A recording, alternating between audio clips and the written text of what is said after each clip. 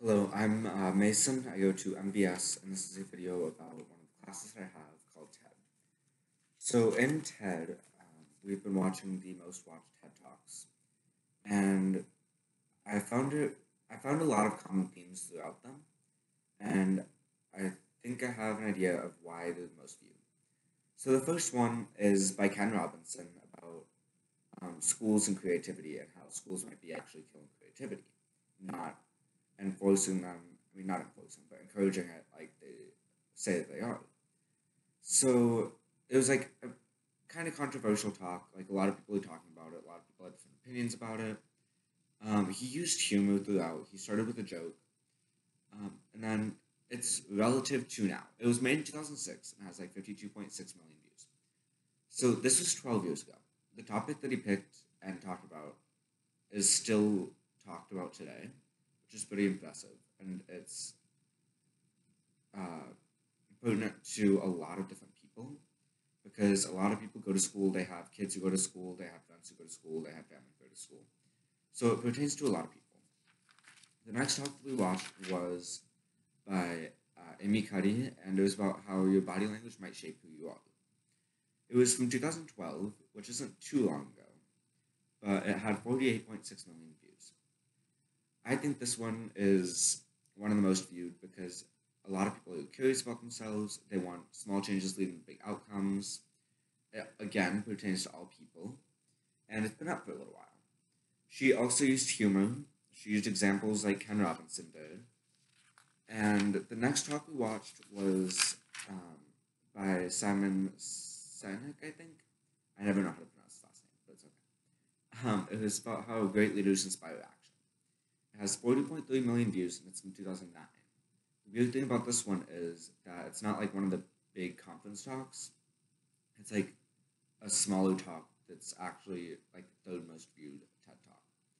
So this one is about leaders, and a lot of people idealize leaders and being leaders, and people want to be them.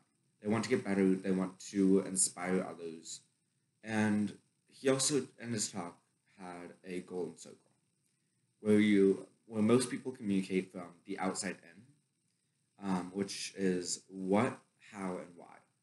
He actually said in his talk that the great leaders and the people that um, inspire others work from the inside in. I mean, inside out. Sorry, they work why, how, what, um, and that like, inspires more people. They're more creative. They're more inspirational and this pertains to a lot of people too, because a lot of people want to get better, they want to be able to communicate and inspire, they want to be a leader. So the next talk we, wa- we watched was by Brene Brown from 2010. It had 35.8 million views. And it was about the power of vulnerability and how we're actually losing our tolerance for it. And this is making us less connected to each other. So she also used humor a lot she used stories, she used her personal experience. Like, she used to be a researcher. And then she actually found out that she had to be vulnerable. So, um, all these TED Talks, I think, are connected. So, the people who are giving these talks and getting the most views are the leaders. From Simon's talk about how leaders inspire action. They work from the inside out, they have a reason why, they put together a how, and then they showed people what they were doing. And that inspired people, and that's why they have so many TED, that's why they have so many views. They have many experiences, they have many stories, um, and they're like really driven. They also have something to say, which is the why part, which is like the most important part. You have to have something to say if people are going to listen. And the people follow, like they follow the people who are giving these talks.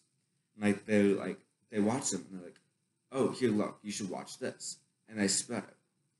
And these people who are giving the talks are able to be vulnerable from Brene Brown, and they're able to open up, share about their experiences, connect with people, and that's part of why they're the most viewed.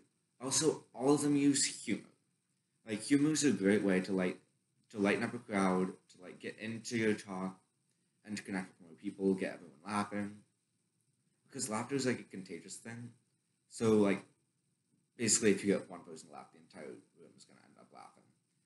And then um, also we watched a different TED talk. This one wasn't one of the most viewed, but it had a differentiation between my world and the world.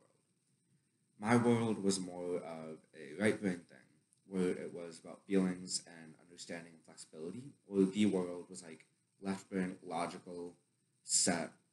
And I think this relates to the golden circle because it's working from my world out. Because my world is where the inspiration comes from.